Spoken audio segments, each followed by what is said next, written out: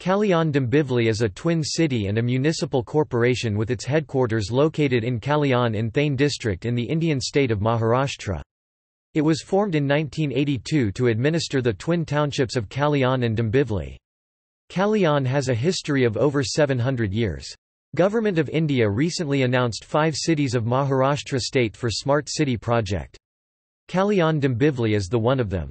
The other four cities are Aurangabad, Nashik, Nagpur and Thane.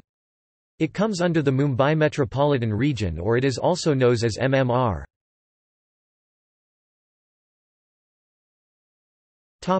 Demographics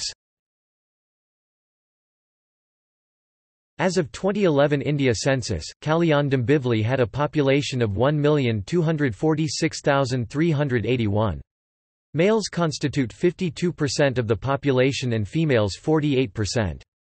Kalyan Dombivli has an average literacy rate of 93.06%, higher than the national average of 74.04%. Male literacy is 96.11%, and female literacy is 89.73%. In Kalyan Dombivli, 9.47% of the population is under 6 years of age. Kalyan Dombivli is also considered as one of the fastest developing node after Navi Mumbai.